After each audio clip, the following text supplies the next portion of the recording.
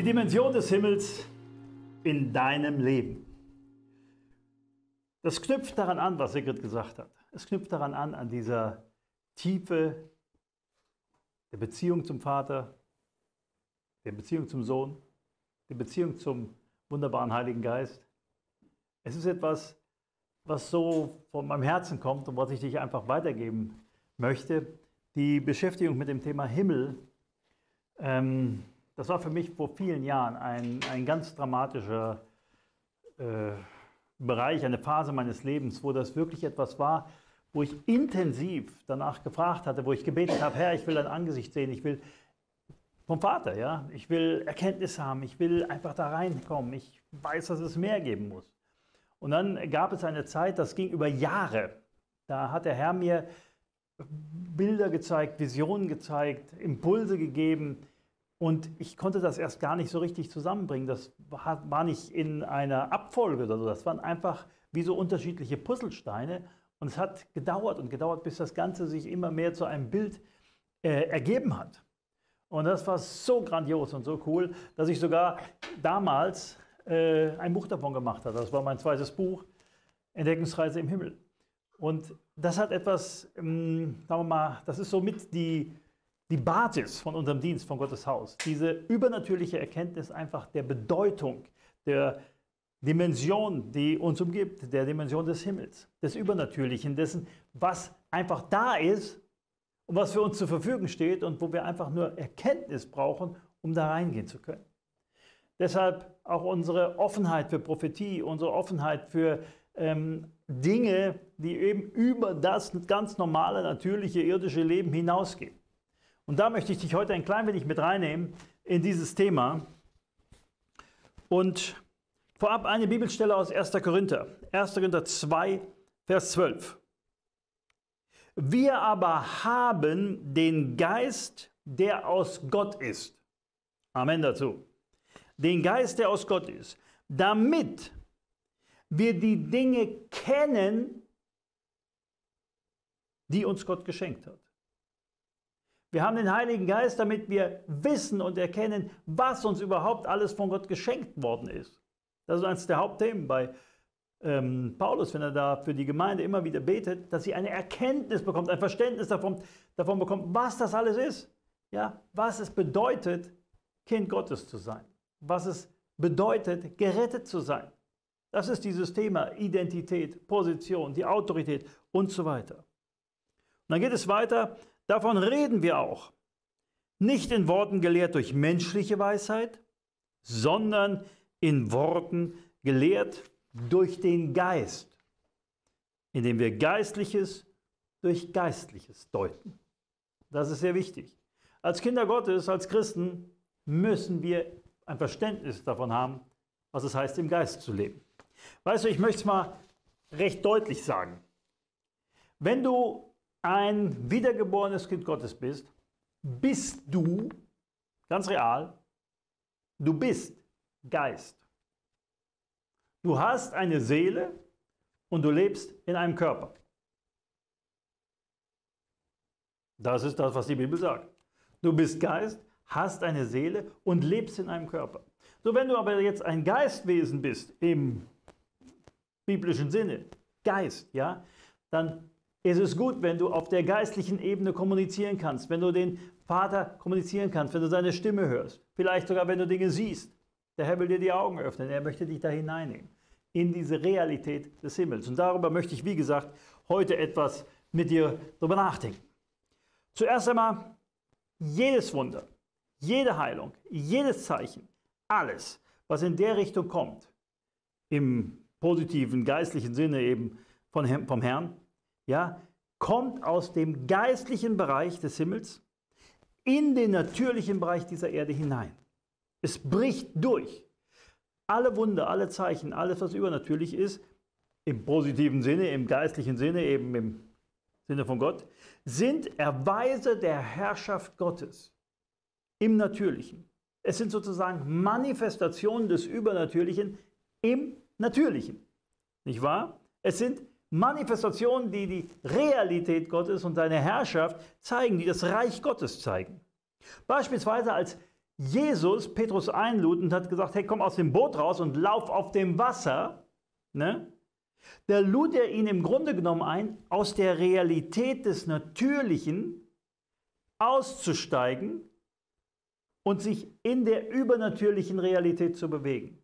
So erkläre ich mir das. Und so ist die Bibel prallvoll mit solchen Hinweisen und mit diesem ähm, Hineinwirken des Übernatürlichen, des Himmels in unser Dasein und in unsere Realität, unsere Wirklichkeit. So, wie oft erscheinen irgendwo in der Bibel aus dem Nichts heraus auf einmal Engel? Ja, sie treten aus dem Übernatürlichen, zack, einfach in diese natürliche Dimension hinein. Ja, Feuer, was vom Himmel fällt, aus der geistlichen Dimension auf diese Erde fällt. Ne? Da findest du äh, etliche Bibelstellen. Ja, alles, was da an Visionen, Offenbarung ist. Ich glaube, dass eins der Hauptthemen der Bibel ist dieses Hereinbrechen des Übernatürlichen, dieses Hereinbrechen des Himmels in diese irdische Dimension. Und dazu einfach nur ein paar Beispiele mal, damit du merkst, das ist schon in der Bibel wirklich gut belegt. Denk mal an die Speisung der 4000 bzw. der 5000. Das ist das ähm, Wunder, was am allermeisten in der Bibel belegt ist. Ja? Kein Wunder kommt mehr vor als dieses. Da ist eine ganz bescheidene Gabe, die Jesus in dem Fall von dem Jungen bekommt. Er empfängt das im Natürlichen von dem Jungen, eine natürliche Gabe, die er empfängt. Ne? Das Ganze während des Austeilens der Jünger vermehrt sich sozusagen in der geistlichen Dimension und wird dann beim Austeilen einfach, ist es da, im Natürlichen. Ne? Und das ist eigentlich ein Musterbeispiel, deshalb ist das auch so oft in der Bibel erwähnt, wie das Ganze funktioniert. Der Herr nimmt das, was wir ihm im Natürlichen geben, macht etwas im Übernatürlichen daraus und dann manifestiert es sich auch hier in unserer Welt im Natürlichen. Das ist das, was ich mit, einem Herein, das mit dem Hereinbrechen des Himmels, des Himmelreiches in diese Welt meine. Schau, im Matthäusevangelium wird immer vom Reich der Himmel gesprochen. Das ist gleichbedeutend mit dem Reich Gottes. Wenn man sagt Reich Gottes oder Reich der Himmel, ist völlig identisch, ist das Gleiche. Denn wo Gott ist, ist der Himmel. Wo der Vater ist, ist der Himmel. Wo der Sohn ist, ist der Himmel. Wo der Heilige Geist ist, ist der Himmel. Nun, wo ist denn Gott? Er ist direkt unmittelbar hier. Er ist um uns herum. Wenn ich jetzt beispielsweise bete, nur mal als Beispiel. Ich sage, oh Herr, ich danke dir für deine Segnung, die du schenkst für all die Menschen, die du noch zu dir rufen wirst, für die gewaltigen Zusagen, die wir haben. Nur als Beispiel. Was habe ich gerade gemacht? Ich habe einfach etwas in die Atmosphäre hineingesprochen, hier in unserem kleinen Studio, ja, irgendwo in der Mitte von Deutschland, habe ich das einfach so gesprochen. Ja? Was erwarte ich? Ich denke, dass Gott im Himmel das gehört hat. Ich weiß es. Wie komme ich eigentlich da drauf? Ich brauche nicht an einen bestimmten Ort zu gehen, damit er mich hört. Ich brauche nicht irgendwelche bestimmten Rituale zu machen, damit er mich hört, sondern ich stelle mich einfach hin und sage was und weiß, er hat mich gehört. Warum ist das so? Weil der Himmel direkt da ist, um uns herum. Er ist nicht weg. Er ist nicht irgendwo da oben, far beyond the blue. Nein, er ist hier, direkt das kannst du dir ähnlich vorstellen wie eine Dimension, die da ist, die wir nur nicht erfassen können, zu der wir keinen erkenntnismäßigen Zugang haben, aber die dennoch real ist. Ich werde darauf noch eingehen. So, anderes Beispiel von einfach die, einem Hereinbrechen des Übernatürlichen in dieses irdische Leben ist die Verklärung Jesu auf dem Berg. Ja, als diese sichtbare Wolke der Herrlichkeit Gottes über ihn äh, kam und ihn vor den Augen von den drei Jüngern da überschattet hat. Das Hereintreten Jesu in diesen verschlossenen Raum nach der Auferstehung, wo er auf einmal mitten unter den Jüngern war. Der kam direkt aus dem unsichtbaren geistlichen Bereich, ist er einfach in diese sichtbare Welt hineingetreten. Die Himmelfahrt natürlich. Die Himmelfahrt war im Natürlichen zu sehen, wie er gen Himmel gefahren ist. Aber weißt du was? Er ist nicht in Lichtgeschwindigkeit irgendwie unterwegs, um irgendwo in den Himmel zu fahren. sondern das war nur für die Jünger, dass sie es gesehen haben und irgendwann ist er in die übernatürliche Dimension einfach hineingetreten. Sonst wäre er heute etwa 2000 Lichtjahre entfernt. Haha, ja, das wäre komplett albern. Wir wissen, dass er in die himmlische Dimension hineingegangen ist.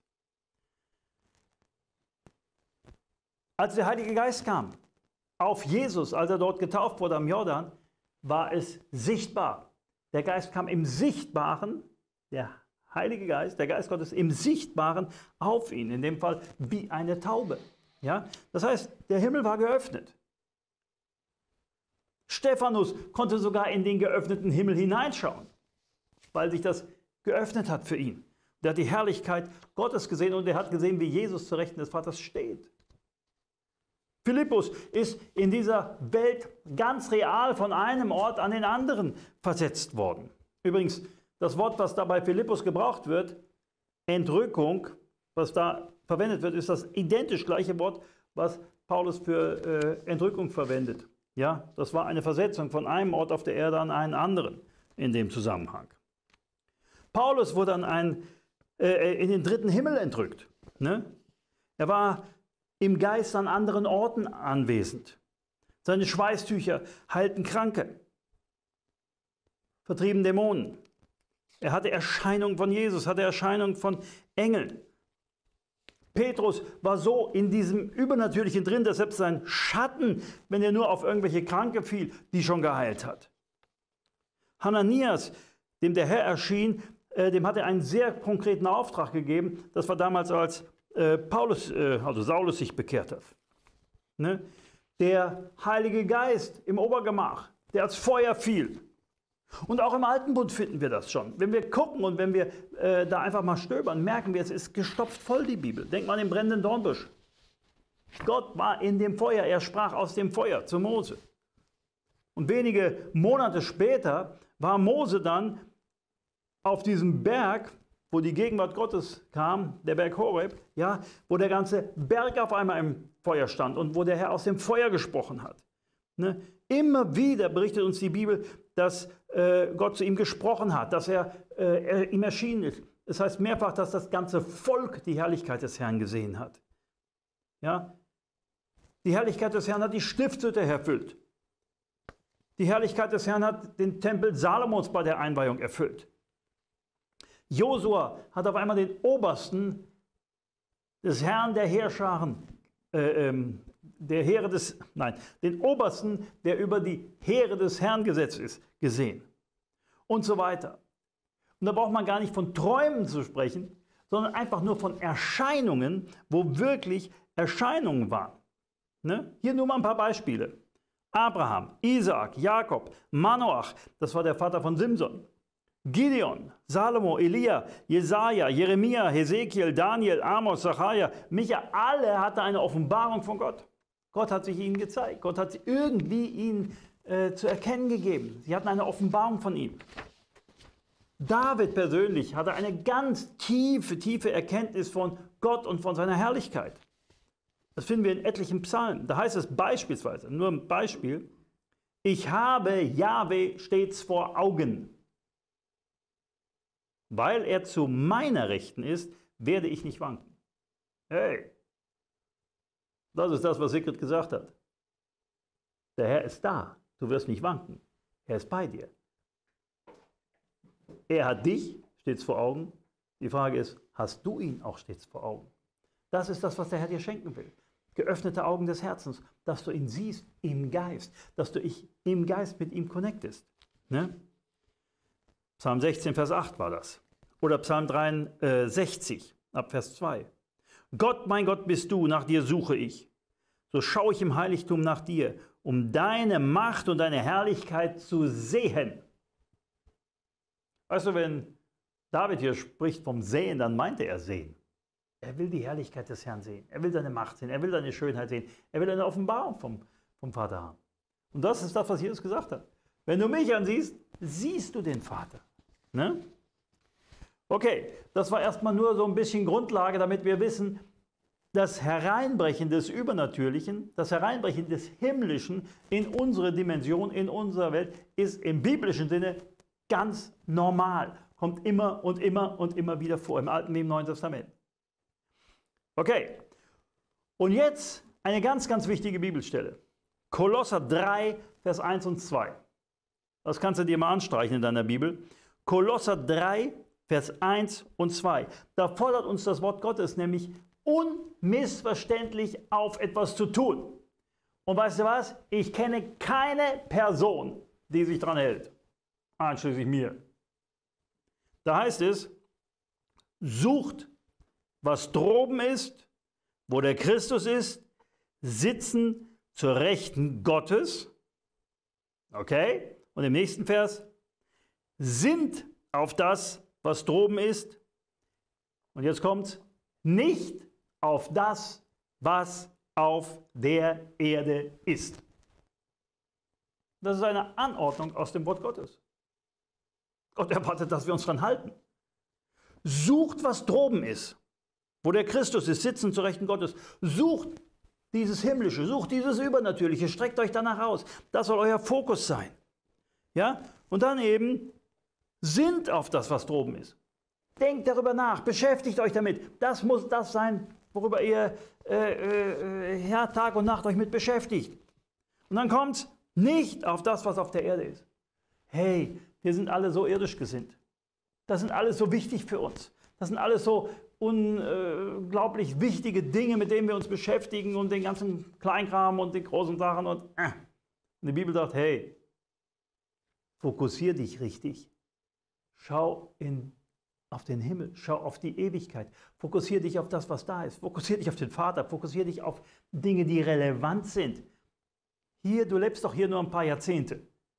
Wir nehmen dieses irdische Leben viel zu wichtig in dem Sinne, dass wir äh, planen und machen und tun und darüber nachdenken, wie wir das alles. Hey, es ist nur ein Übergang hinein in das Eigentliche, was der Herr für uns hat. Ja? Und das ist das, was hier Paulus sagt in dieser für mich sehr dramatischen Bibelstelle in Kolosser. Ne? Er sagt, wir sollen über die Dinge dieser Erde, das Irdische, das Weltliche, eigentlich noch nicht einmal nachdenken und uns noch nicht einmal intensiv damit beschäftigen. Ich sage ja, ich kenne keinen, der das wirklich äh, hinbekommt, sich damit das umzusetzen. Aber es ist etwas, was ich mir wünsche und wofür ich auch bete. Ich sage, Herr, ich möchte immer mehr einfach diese himmlische Realität haben. Daher kommt die Versorgung, daher kommt der Segen, daher kommt die Freude, daher kommt all das, was wir als Kinder Gottes brauchen und wollen und was für uns wichtig ist. Ja, daher kommen die Segnungen, die er für uns hat, die sich dann hier im natürlichen eben zum Ausdruck bringen. Sie kommen nicht von der irdischen Sache, sondern sie kommen aus dem Übernatürlichen. Wie die Speisung der 5000. Da war eine Kleinigkeit, ja, die wurde vermehrt und dann war auf einmal ein gewaltiger Segen, eine gewaltige äh, Versorgung da, aber die kam aus dem Übernatürlichen. Gott nimmt das bisschen, was wir ihm geben, und macht was Gewaltiges drauf. So, wenn wir nach dem Sinnen sollen, was droben ist, heißt das, dass wir uns nach dem Zentrum aller Dinge ausstrecken, dem Thron Gottes. Das ist das Zentrum, dem himmlischen Thronsaal.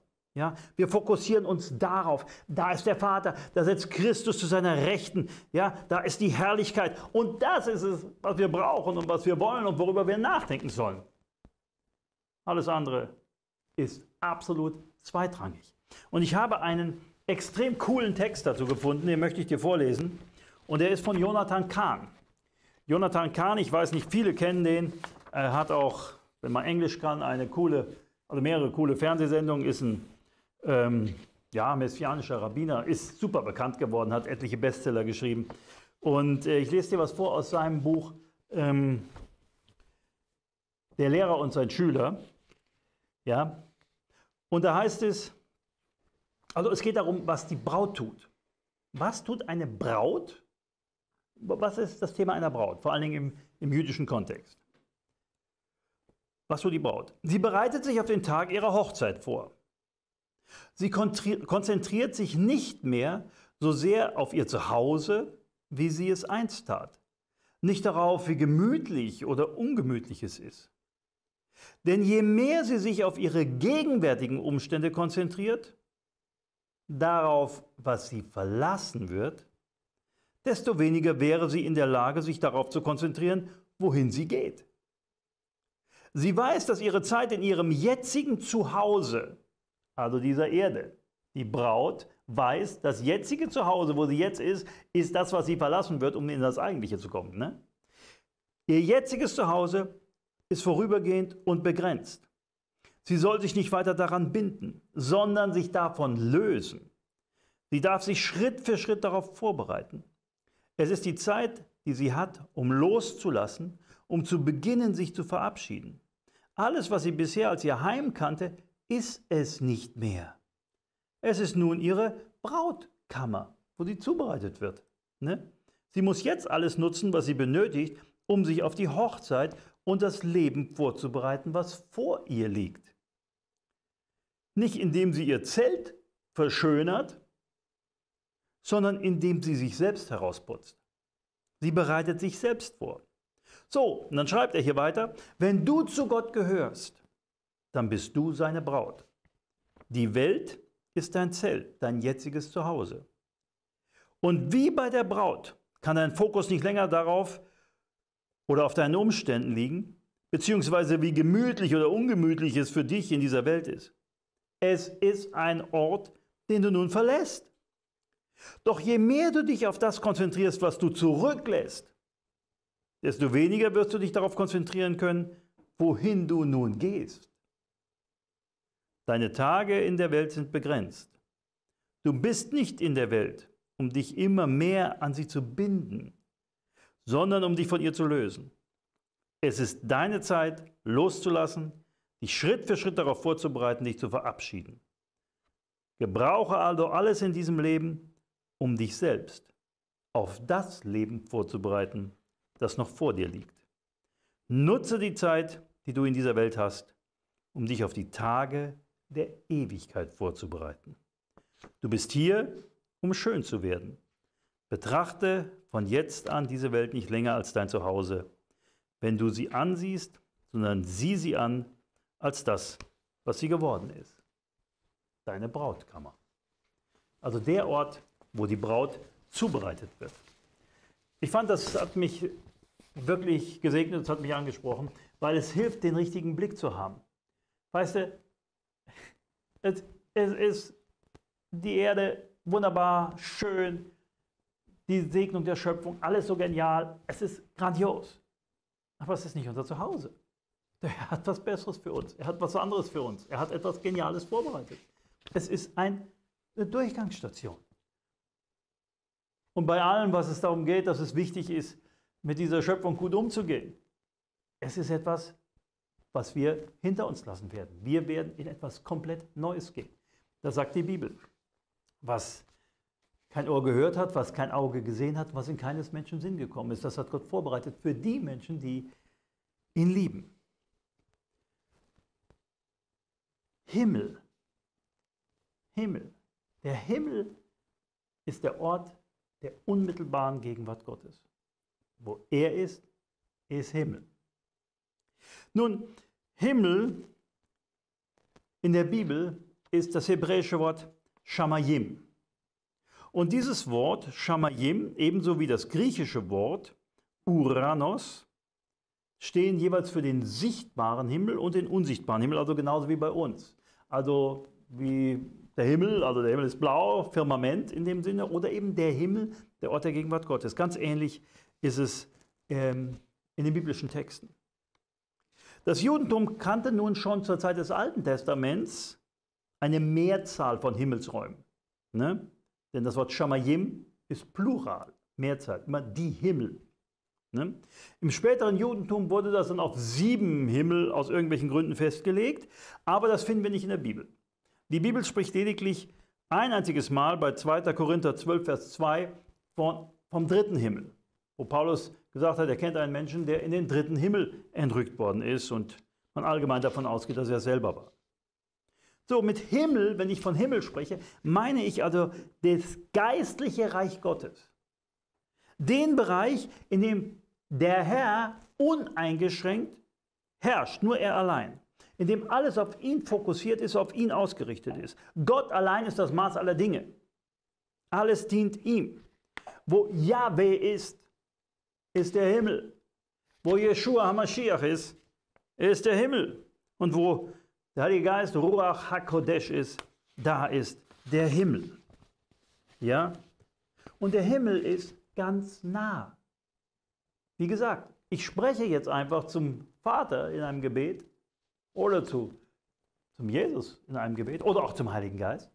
Und ich weiß, er hört mich. Er ist ja nicht irgendwie Lichtjahre entfernt, er ist nicht irgendwie weg. Er ist unmittelbar da. Wie kann man sich das vorstellen? Er ist nicht im räumlichen Sinne weg, er ist nicht im zeitlichen Sinne weg, sondern eigentlich fast nur im erkenntnismäßigen Sinne. Ne? Der Himmel ist die geistliche Realität, die unsere natürliche Realität richtig durchdringt. Der Himmel ist nicht psychisch. Äh, falsch, nicht physisch. Der Himmel ist nicht physisch. Ja? Es ist wie, du kannst es dir vorstellen, wie eine Dimension, die da ist, aber die wir nicht erkennen können. Schau mal, der Mensch kann nur in drei Dimensionen denken. Ja? Es, anders ist es nicht möglich. Er kann keine vierte Dimension denken. Da hat der Herr ein, ein, eine Begrenzung in unser Denken hineingegeben. Aber man kann ohne Schwierigkeiten in einen weiteren Dimensionen rechnen und Experimente machen, alles Mögliche, äh, sagen wir mal, wissenschaftlich damit machen. Nur vorstellen kann man sich es nicht. Es übersteigt unser Denken. Ich habe da in dem Buch äh, ein bisschen ausführlicher darüber geschrieben, wie das zu verstehen ist. Wir haben keine Erkenntnis, was in dieser vierten, fünften, sechsten, wie vielen Dimension auch immer ist, aber dennoch ist sie da. Sie ist real da. Nur wir verstehen sie nicht. So ähnlich stelle ich mir das mit dem Himmel vor. Er ist gegenwärtig um uns herum. Ja, er ist ganz real da. Er umgibt uns hier und jetzt. Absolut. Und unmittelbar kann ich damit kommunizieren, kann ich damit, wenn ich die Salbung habe und der Herr mir das geschenkt hat, kann ich damit interagieren. Ja? Es ist unmittelbar möglich, da hineinzukommen. Und große Männer und Frauen Gottes, die da in diesem Bereich von Gott gebraucht worden sind, die haben das einfach nur gelernt. Die haben verstanden, wie es ist, mit dem Himmel zu agieren, mit den Segnungen Gottes zu agieren, zu verstehen, wie es ist, wenn Engel uns dienen und so weiter und so weiter. Ja? Wenn ein Mensch von neuem geboren ist, ist alles neu geworden, sagt die Bibel. Er ist eine neue Kreatur, eine neue Schöpfung. Eine geistliche Schöpfung, eine himmlische Schöpfung. 2. Korinther 5, Vers 17. Daher, wenn jemand in Christus ist, so ist er eine neue Schöpfung. Das Alte ist vergangen, siehe, Neues ist geworden. So, das heißt also, wenn das alte irdische vergangen ist und etwas Neues gekommen ist, Neues geboren ist, dann ist er in den Herrschaftsbereich Gottes, wo der Herr eben alles ist, hineingeboren. Er ist hineingeboren. Er hat jetzt das Bürgerrecht des Himmels. So sagt es uns das Neue Testament. Warum? Weil er per Geburt Bürger des Himmels geworden ist. Wenn du wiedergeborener Christ bist, bist du Bürger des Himmels. Du hast das Bürgerrecht des Himmels. Wir lesen das in Philippa 3, Vers 20 denn unser Bürgerrecht ist in den Himmeln. Und woher wir auch den Herrn Jesus Christus als Retter erwarten.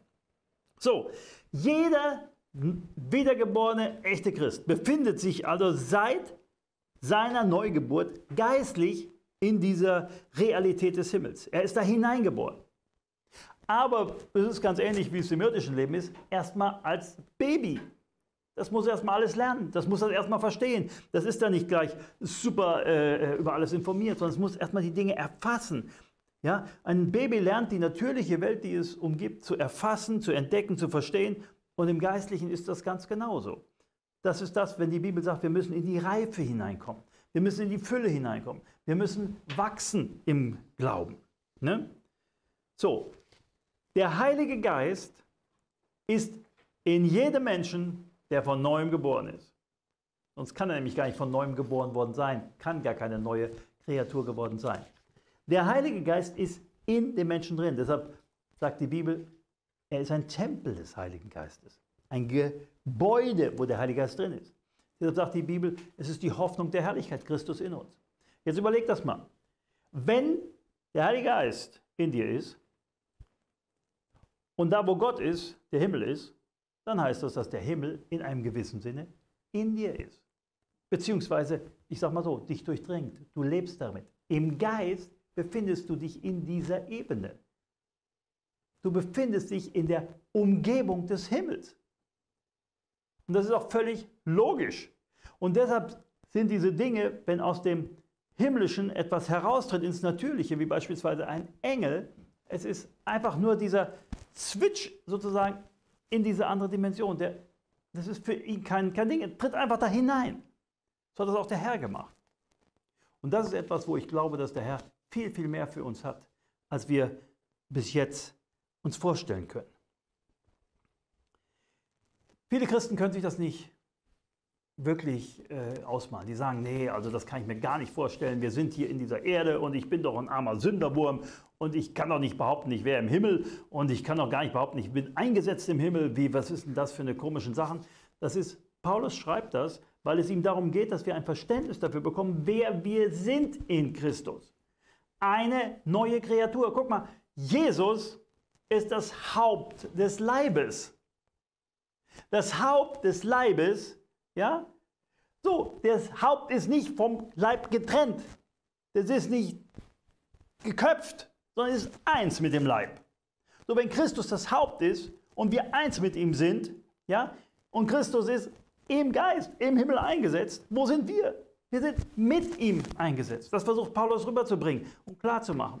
Ich weiß, das ist eine schwierige Thematik, aber wir müssen verstehen, wer wir sind. Wir sind geistliche Wesen mit Christus, die gesetzt sind, hier auf dieser Erde, ihn zu repräsentieren und zu herrschen und einfach die Dinge umzusetzen, die er umgesetzt haben möchte.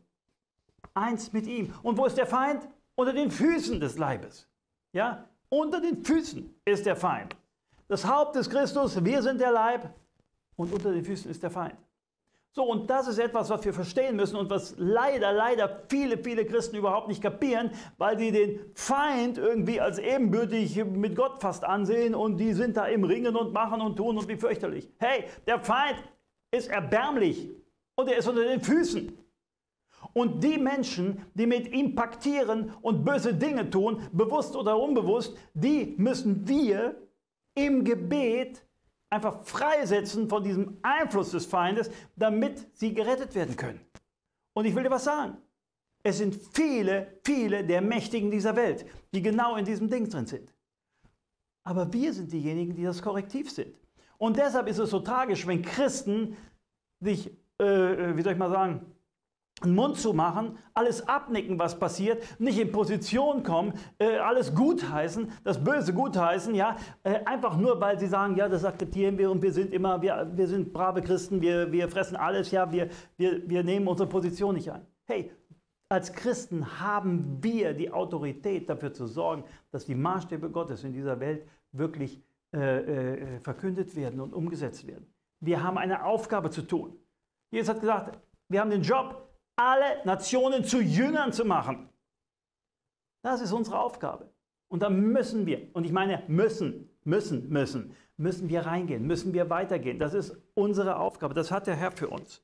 Ja, es ist wichtig, dass wir uns da nicht von abhalten lassen, von den Segnungen, die er für uns hat. So, Viele, viele, viele Christen haben davon keine Ahnung, weil es eine gigantische Propagandaschlacht des Feindes gibt, der versucht, das zu verschleiern, der versucht, das äh, äh, einfach wegzunehmen und unmöglich zu machen. Und das merkst du beispielsweise darin, dass ähm, es so ein abartig lächerliches Bild vom Himmel gibt. Ne? So ein richtiges, albernes, pervertiertes Bild, wo wir, oder wo wir, ja, wo Menschen keine Ahnung haben, wie genial diese himmlische Dimension ist.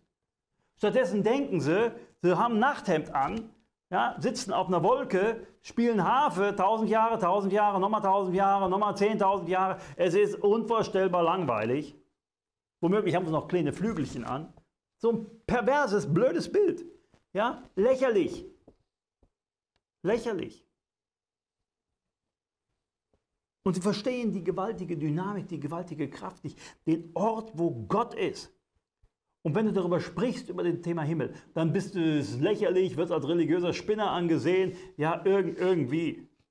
Aber du musst wissen, Moment mal, das ist meine Heimat. Und nicht nur meine Heimat, sondern da bin ich jetzt schon. Als neugeborene Kreatur, als Kind Gottes bin ich dort real im Geist. Ja? Und ich will dir was sagen. Wenn du dich weiter damit beschäftigst, wie gesagt, ich habe das gemacht. Ich habe diese Vision gehabt vom Himmel. Es ist unvorstellbar. Es ist nicht zu beschreiben. Es ist fast nicht in Worte zu fassen. Ja? Und ich sage nur eins: Unser irdisches Dasein ist sowas von farblos, sowas von unsagbar beschränkt, sowas von klein, sowas von eng, ja, sowas von, sorry, erbärmlich in dieser gefallenen Schöpfung gegenüber dem, was der Herr für uns vorbereitet hat und gegenüber dem, wo wir jetzt schon drin eingesetzt sind. Und das ist es, was uns so am Herzen liegt, wenn wir immer wieder sagen, wir müssen Verständnis dafür haben. Wir müssen eine Erkenntnis darüber haben, wer wir sind. Und insbesondere im Epheserbrief siehst du, wie Paulus darum ringt, diesen Ephesern, diesen Christen, diesen Heidenchristen irgendwie rüberzubringen. Hey Leute, ihr müsst verstehen, was es bedeutet, was Christus für euch getan hat. Es ist nicht nur, dass ihr errettet seid und irgendwann mal, wenn ihr gestorben seid, in der Ewigkeit beim Herrn sein werdet. Das ist natürlich die Hauptsache, es ist extrem wichtig. Aber es gibt mehr. Hier in diesem Leben die Werke Christi zu tun. Voranzugehen und das zu tun, wozu er uns berufen hat und was er uns beauftragt hat. Und deshalb ist es so schmerzhaft, wenn man sieht, wie Christen in einer Niederlage sind und, und einfach besiegt sind und runtergeknüppelt sind und aufgegeben haben anstatt vorwärts zu gehen mit dem Herrn in den Lauf, in den Kampf, der ihnen verordnet ist. Das ist der Punkt. Ja? Und es gibt ein wunderbares Beispiel, was wir alle super gut verstehen, wo wir ein bisschen verstehen können, wie das, wie das zusammenhängt. Und das ist ganz einfach ein Baby im Mutterleib. Ein Baby im Mutterleib. Ja, so, das Baby ist im Mutterleib, wächst heran und sein Dasein ist natürlich extrem eingeschränkt. Das weiß es aber nicht. Es kennt nur diesen Mutterleib. Ne? Wird das Baby fragen, was das Leben ist, wird es sagen, warm, äh, dunkel und feucht. Das ist das, was das Baby kennt. Ne? So, es hat keinerlei Vorstellungskraft von dem eigentlichen Leben, das du nicht kennst. Ne? Es hat die notwendige Versorgung, aber es ist dunkel, es ist eng. Und selbst wenn das Baby wollte könnte es sich ja gar nicht vorstellen, was das eigentliche Leben bedeutet. Das Baby kann sich keine Farben vorstellen, keine Formen, keine Gerüche, keine Texturen und wenn, dann nur extrem rudimentär. Ne? Es weiß nichts vom Sonnenuntergang. Es weiß nichts von Schmetterlingen. Es kann einen Frühlingswind. Kennt es nicht. Ne? Es kennt nicht die Farben des Herbstwaldes. Es ist ihm verborgen. Und wenn du mit ihm kommunizieren könntest und versuchen würdest, das ihm zu erklären, es könnte es nicht verstehen, weil es über seinen gesamten Erfahrungsschatz in diesem Mutterleib hinausgeht. Ja? Und exakt, ganz genauso ist es mit dem Leben, was der Herr für uns hat. Ja? Wir sind sozusagen in diesem irdischen Ding gefangen wie in einem Mutterleib. Der ist zwingend notwendig, damit wir in das eigentliche Leben hineinkommen. Aber das, was Gott vorbereitet hat, ist auf einem völlig anderen Level. Auf einem völlig anderen Level. Und vielleicht werden wir die Ewigkeit brauchen, um zu entdecken, welche Herrlichkeiten und welche Segnungen das sind. Wir können uns das nicht vorstellen, was Gott vorbereitet hat. Es übersteigt unser Denken, unsere menschlichen Möglichkeiten in dieser gefallenen Schöpfung, genauso wie das Baby sich nicht das Leben vorstellen kann, draußen in der ganz normalen Welt, das ganz normale Leben. Es übersteigt unseren Horizont. Ja? Und dennoch sind wir als Kinder Gottes genau da hineingeboren, in diese übernatürliche himmlische Situation. Als Kind Gottes bist du im Himmel und fängst an, wie ein Baby, dich zu orientieren und die Dinge zu erkennen. Ja, eigentlich, wenn du neu geboren bist, hast du die Zeit im Mutterleib hinter dir gelassen. Du bist ja geboren, ne? neu geboren. So, und jetzt fängst du an, in diesem geistlichen Leben hineinzuwachsen. Ja? Und der Herr offenbart dir immer mehr, immer mehr einfach diese himmlische Realität. Und deshalb würde ich so sagen. Du und ich, wir sind Bürger zweier Welten. Bürger zweier Welten. Ja? Wir leben sozusagen in zwei Dimensionen. Ich weiß, dass der Begriff natürlich ein bisschen schwierig ist. In zwei Realitäten. In zwei Welten eben, ne? zwei Wirklichkeiten. Zum einen 100% im Natürlichen, ne? hier, alles ganz natürlich. Zum anderen gleichzeitig im Geist. 100% im Geistlichen. Wir sind Menschen, die als neue Kreaturen im Geist sind und im Natürlichen sind. Und der Feind versucht unseren Blick immer nur auf das Natürliche zu lenken, immer nur auf das Natürliche. Und dort ist es aber nicht, wo wir effektiv ihn bekämpfen können, vorwärts gehen können und ein Segen für andere Menschen sein können. Ne? Und deshalb sage ich, weil wir da hineingeboren sind, ist der Himmel um uns direkt herum. Wir sind da, wir sind sozusagen mittendrin. Eigentlich bewegen wir uns sozusagen da drin. Ja? Der Heilige Geist hat seinen Wohnort in dir genommen. Und das ist so, es ist vollkommen wurscht, ob du das realisierst oder nicht, oder ob dir das gefällt oder nicht. Ja, wir sind versetzt in das geistliche Reich Gottes und leben in seinem Herrschaftsbereich. Und da ist es wichtig zu verstehen, dass das etwas ist, was bereits passiert ist, Gegenwartsform. Es heißt nicht, dass das irgendwann mal in sein Reich versetzt werden, sondern dass er das bereits getan hat. Wir sind jetzt im Reich Gottes. Und insbesondere, ich hatte schon gesagt, der Epheserbrief, der gibt uns da ganz viele Hinweise. Und da kommt etliche Male, also das Wort Himmel oder Himmelswelt kommt vor. Ne? Da heißt es beispielsweise in Epheser 1, Vers 3, gleich am Anfang, Gepriesen sei der Gott und Vater unseres Herrn Jesus Christus. Er hat uns gesegnet mit jeder geistlichen Segnung in der Himmelswelt.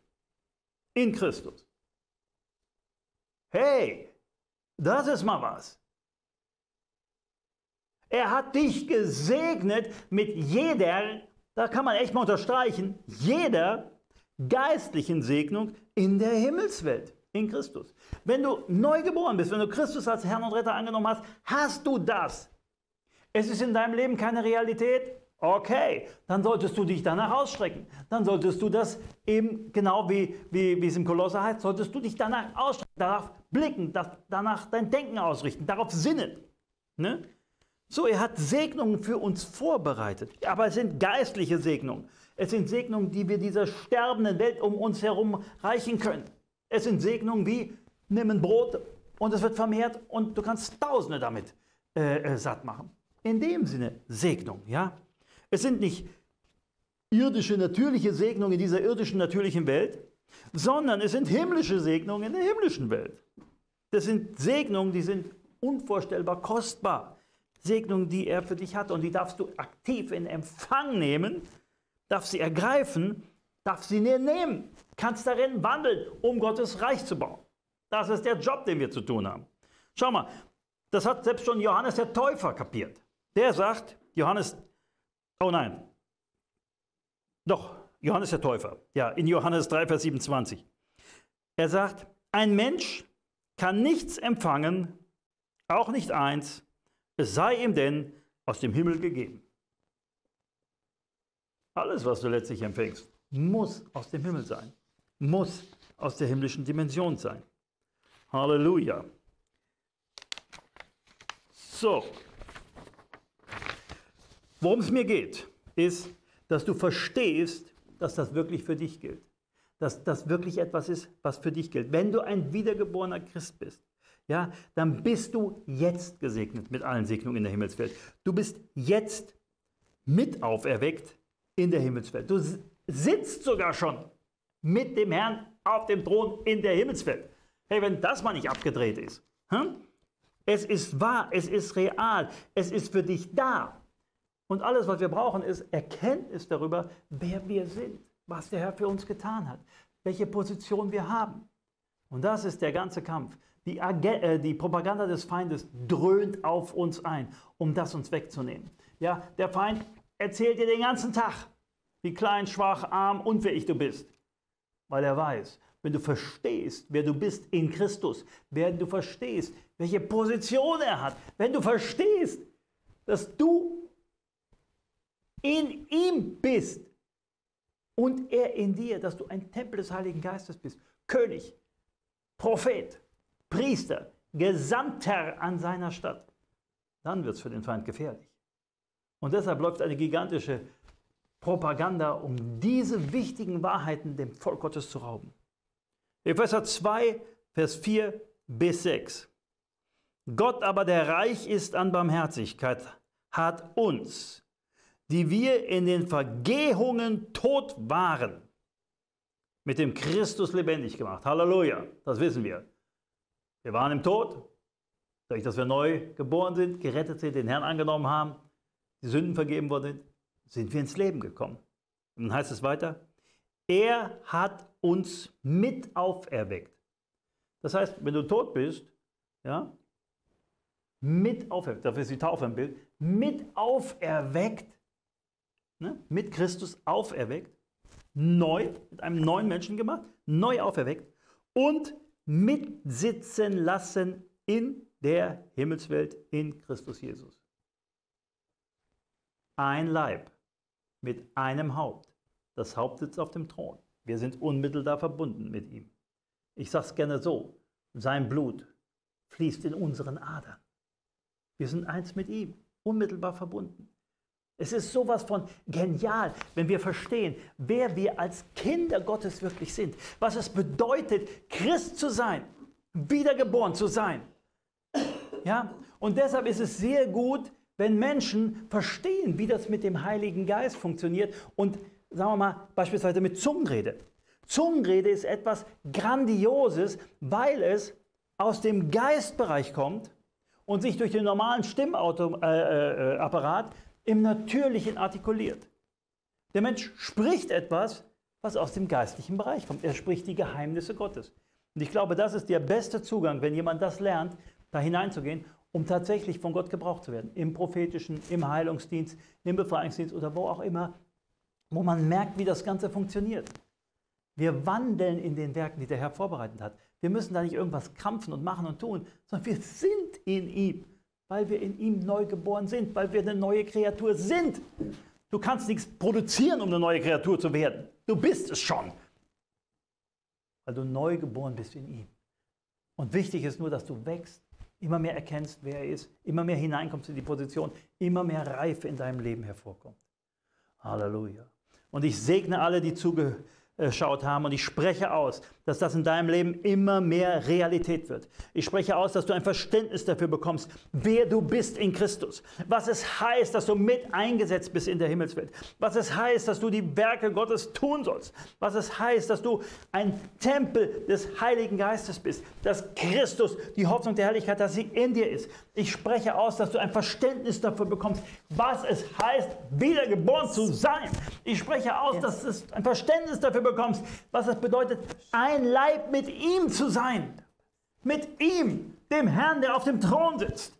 Ja, wir sind direkt mit ihm verbunden. Und ich spreche aus, dass es zu einem Durchbruch von übernatürlichen Krafterweisen, von den Segnungen Gottes in unserem Leben kommt, dass diese himmlische Dimension hineinbricht, gerade in unsere deutschsprachigen Länder, wo wir es so unvorstellbar nötig haben, Übernatürliches zu sehen und nicht irgendwelchen esoterischen Dreck oder okkulten Dreck, sondern wirklich das Reale, das Echte vom Himmel, wirklich die Segnungen Gottes. Und ich bete dafür, dass du das ergreifst und dass du verstehst, dass du in dieser Dimension vorwärts gehen kannst, um sein Reich zu bauen, um seinen Willen zu tun, um dafür beizutragen, dass alle Nationen zu Jüngern gemacht werden. Das können wir nicht durch menschliche Programme, das muss aus dem Geist herausfließen. Und ich segne dich, dass du ein Verständnis dafür hast, dass der Himmel in deinem Leben schon da ist, dass er offen ist, dass im gewissen Sinne er in dir ist, wie Christus in dir ist, wie der Heilige Geist in dir ist und dass du immer mehr da hineinkommst. Und dass du da wirklich dich ausstreckst nach mehr vom Herrn, immer mehr siehst, immer mehr erfährst, immer mehr hineinkommst, immer mehr ergreifst von dieser gewaltigen Herrlichkeit der Kinder Gottes. Herr, für dein Wort, für deine Offenbarung. Und Vater Himmel, wir danken dir, dass du dich nicht äh, unsichtbar abwendest von uns, sondern dass du uns in Jesus dich hast sehen lassen. Wir danken dir für das kostbare Geschenk deines Heiligen Geistes, das du uns gegeben hast, ausgeschüttet in uns. Du hast nichts zurückgehalten. Du hast deinen Sohn nicht verschont, sondern ihn für uns hingegeben, damit wir in ihm gerettet werden. Du hast uns den Heiligen Geist gegeben, dass er uns in alle Wahrheit leitet, dass er uns tröstet, dass er uns die Tiefen der Gottheit auslotet und uns den Vater zeigt. Herr, wir danken dir. Wir danken dir für dein mächtiges Wort. Wir danken dir für Offenbarung. Wir danken dir, dass wir hineinpreschen können in die Dinge, die du uns schenken willst. Wir danken dir für den Weg, den du mit uns gehst. Und Vater im Himmel, wir beten, dass wir eine ganz neue Sicht vom Himmel, von dir, von Jesus, dem Heiligen Geist, von diesen übernatürlichen Dingen bekommen. Denn die, das Übernatürliche muss in das Natürliche hineinbringen. Das Natürliche muss sich abheben, um in das Übernatürliche hineinzugehen. Und Vater im Himmel, wir beten, dass du uns diese übernatürliche Sicht schenkst damit wir in den Erschütterungen fest stehen bleiben können. Wir brauchen diese Kraft aus der Höhe dass wir stehen und stehen bleiben können. Absolut. Wir brauchen diese Hilfe, die Offenbarung, die Stärke, die von Jetzt. dir kommt. Jetzt. Die Kraft Gottes. Jetzt. Wir brauchen sie, ja. damit wir gegen den Satan und seine Dinge in unserem Leben vor, ja. äh, entgegengehen können. Yes, yes, yes. Und wenn wir alles, was wir gegen ihn ausgerichtet haben, getan haben, Herr, dann beten wir um die Kraft, dass wir stehen bleiben können. Ja. Wir segnen euch mit dieser neuen Erkenntnis mit dieser Tiefe des Wortes yes. Gottes. Wir segnen euch mit der Kraft, die aus der Höhe kommt. Wir segnen euch mit diesem unerschütterlichen Glauben. Wir segnen euch mit dem, dass ihr eure Herzen weit macht, um den Vater im Himmel zu erkennen. Wir segnen euch, dass ihr euch anschließt an die himmlische Dimension. Amen. An das, was von oben ist. Amen. Da, wo der Christus ist. Yes. Zur Rechten der Kraft Gottes. Amen. Und ich bete für all die, die sagen, ich würde das gerne in meinem Leben sehen, ich ja. würde das gerne erfahren, ja. aber ich habe keine Ahnung, wie ich da rankommen soll. Ich habe keine Ahnung, wie ich damit ja, mich connecten kann.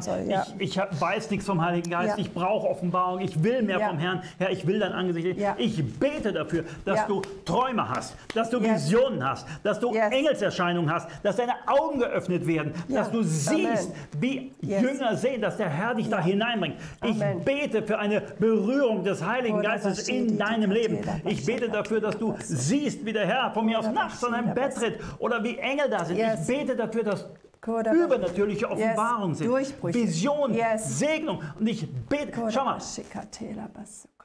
im Alten Testament gibt es die Story von Elia, äh, Eli, Elisa, Elisa. Und da war dieser Knecht und der war eher fleischlich drauf und eben Elisa. Und der Knecht kommt aus dem Haus am Morgen und sieht alles voller Feinde. Ja, der Feind hat die Stadt umzingelt. Mhm. Ja, und er rennt zu Elia und kriegt die Krise und, ja. und sagt, hier, schau mal, schau mal, wie fürchterlich. Und Elisa schaut sich das Ganze an und sagt, oh Herr, öffne ihm die Augen. ja. Öffne ihm die Augen. Amen. Und auf einmal werden seine Augen geöffnet. Ja. Und er sieht, da ist zwar der natürliche Feind, ja. Und um den natürlichen Feind herum sind gigantische yes. Heere von feurigen Wagen ja. und von äh, ja. Engeln. Ja, oder ja. was auch immer. Gewaltige Krieger. Ja. Und er hat auf einmal ein Verständnis dafür, was im Natürlichen ist, ist das eine. Im Geistlichen sieht es komplett anders aus. Ja. Und dafür bete ich, dass der yes. Herr dir die Augen öffnet, damit du die geistliche Realität siehst. Hier, ich erzähle das mal mit den Schlangen. Das, das, das, ist, das trifft so gut. Das war echt, das war ein, hat mich wirklich mal richtig erwischt. Ich hatte einen Traum, ich träume nicht wirklich viel, aber da hatte ich einen Traum, ich war in einem Raum, allein. Also als Mensch. Vier Wände, dicht. Kein Fenster, keine Tür, nichts. Einfach vier Wände. Mit mir in dem gleichen Raum fünf sehr große Schlangen. Giftschlangen, gefährlich. Das wusste ich. Drei von denen hatten sich schon so aufgerichtet. Wisst ihr, wie die sich aufrichten, wenn sie attackieren wollen? zwei lagen da und haben mich angepeilt. Und ich wusste, ähm, die kleinste Bewegung kann mein Ende sein. Jede von diesen Giftschlangen war bereit, mich zu attackieren. Es war fürchterlich. Und ich bin aufgewacht. Und das war der Traum. Ich dachte, das kann doch nicht wohl wahr sein. Und ich habe wirklich darum gebetet, dass, ich, dass der Herr mir zeigt, was das ist. Und ich denke, es war die nächste Nacht ja. oder die übernächste, habe ich exakt den gleichen Traum wieder. Gleiche Situation. Der Raum mit weißem Boden, weißen Wänden, diese fünf Monsterschlangen und ich. Und auf einmal öffnet der Herr mir die Augen. Ja, er hat mich, glaube ich, vorher sogar noch getadelt, dass ich nur im Natürlichen sehe. Ich meine, es war ein Traum, ja.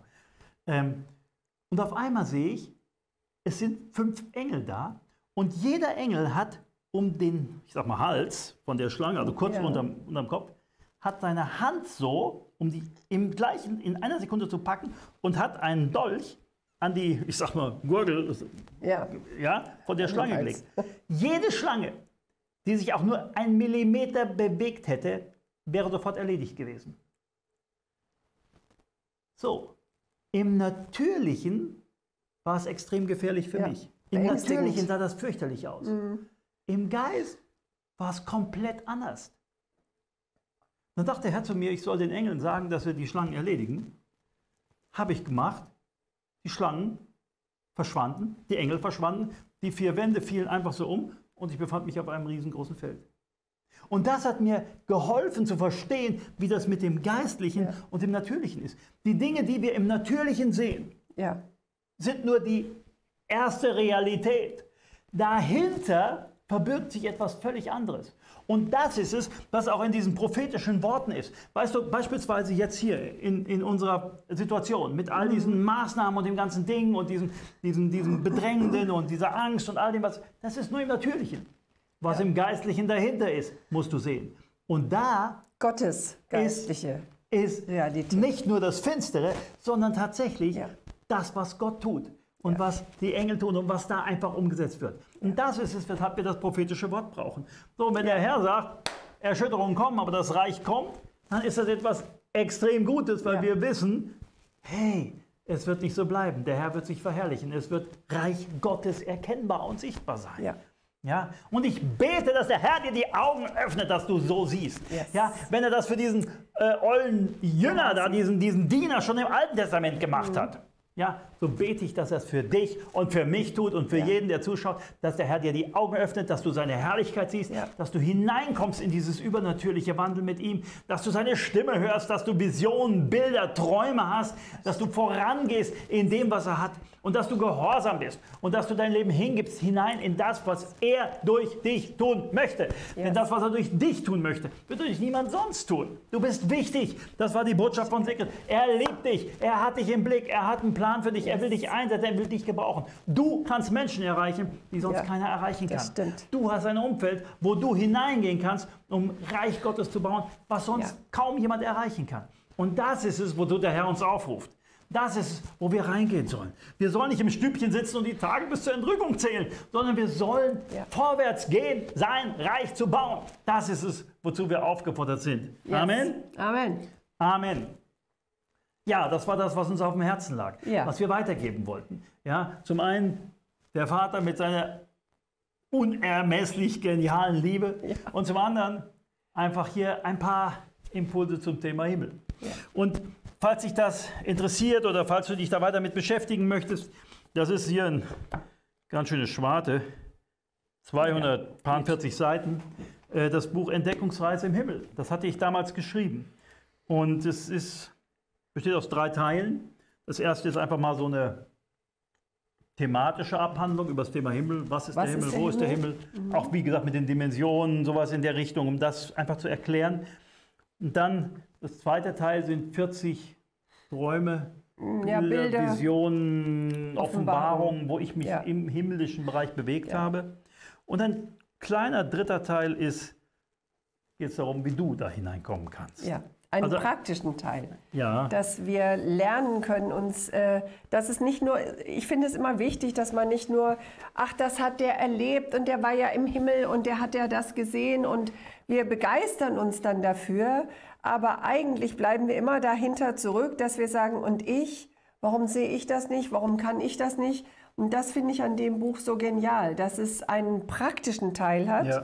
äh, der uns hilft, dass wir in diese Dimension kommen, so wie Mose gesagt hat, lass mich deine Herrlichkeit sehen und dran geblieben ist. Und das ist das, wo ähm, ich das Buch sehr schätze, dass es einfach so eine praktische Hilfestellung ist. Ja, und ja. wir haben noch mehr. Also wir haben beispielsweise das Buch Meine Zeit im Himmel. Das hat ein ähm, amerikanischer Pastor geschrieben. Das ist mhm. komplett anders. Ja, Völlig jeder sieht den Himmel ja auch ganz, anders. Ganz anderes äh, Buch, ganz anderer mhm. Ansatz haben wir bei uns. Oder das Buch Öffne mir die Augen her. Auch ja. sehr schön, gerade für diesen Owens. Herzensschrei, wenn jemand sagt, ich muss einfach her, ich, ja. will, ich will dich sehen, ich will deine Herrlichkeit sehen. Ich, ich habe das über Jahre gebetet und letztlich ja. ist das bei rausgekommen. Ja? Ein geniales Buch. Also es ist, es ist schon etwas, was viele Menschen tief bewegt hat. Mhm. Einfach, äh, es ist natürlich nichts, was man einfach so runterliest. Ne? Es ist schon ja. etwas, wo man sich einlassen muss, weil es sind halt Visionen, die ich gesehen habe und wie ich sie beschreibe. Und man muss halt schon sagen, okay, möchte ich mir jetzt mal angucken. Also Entdeckungsreise im Himmel haben wir bei uns im Shop. Kostet yes. 14,90. Also für alle, die sich damit weiter beschäftigen wollen, ähm, herzlich empfohlen. Und vorhin hatte ich nochmal das, ich sage es nochmal kurz an, hier das mit den sieben Festen, kriegst du auch bei uns im Shop, die sieben Feste der Bibel und ihr Geheimnis. Falls das etwas ist, die ganze Heilsgeschichte in den biblischen Festen enthalten. Halleluja. Also ich denke mal, diese biblischen Festebücher, diese kleinen, dünnen Heftchen, zu jedem Fest ein Büchelchen, das ist wie so eine Mini-Bibliothek. Und ähm, ich äh, denke jetzt schon an Weihnachten. Und wenn du jemanden kennst, der sich gerne mit äh, diesen biblischen Hintergründen beschäftigt, der einfach mehr lernen will über das biblische Wort, über die Zusammenhänge, über prophetisches Reden im Alten und Neuen Testament und alle diese Dinge, dann äh, besorg dir das oder verschenk es. Es ist allemal das wirklich wert. So, das war der Ratgeberteil. ja, und nächste, nächsten ja. Freitag ähm, werde ich über Yom Kippur sprechen. Mhm. Wir hatten ja vorhin über Rosh Hashanah ein bisschen gesprochen. Äh, das ist jetzt, beziehungsweise morgen ist der eigentliche Tag. Und ja. Yom Kippur ist zehn Tage später. Und ich glaube, Yom Kippur, das ist eine also gigantische Botschaft. Das stimmt. Also das ist dramatisch. Yom Kippur war der höchste ja. Feiertag im Alten Testament, der große Versöhnungstag. Ja. Und da steckt eine Message drin, die, die, die, wirklich genial ist. Also solltest du nicht verpassen nächste Woche. Und dann kannst du auch gucken, ob das mit den Festen dir vielleicht äh, was liegt. Ja. Und wenn ja, dann, genau. wie gesagt, zum Nachlesen. Oder yes. auch auf DVD. Haben wir auch eine DVD-Serie ja, davon gemacht. Stimmt. Okay, damit segnen wir euch jetzt für die kommende Woche, ja. dass ihr stark werdet und stark seid im Herrn und in der Macht seiner Stärke, Amen. dass ihr gesund ähm, in diesen Tagen bleibt und seid, dass ihr wirklich darauf achtet auch. Und ähm, wir segnen euch mit jeder geistlichen Segnung aus der Himmelswelt, die Christus für uns bereitgestellt hat. Und sowohl von Sigrids Thema mit dem Vater wie von meinem Thema mit dem Himmel. Echt, Gott hat mehr für dich. Ja, Amen. Gott hat mehr für yes. dich. Streck dich danach aus. Gott genau. hat mehr für dich. Sei gesegnet. Blessings. Ciao. Bis nächsten Freitag. Yes.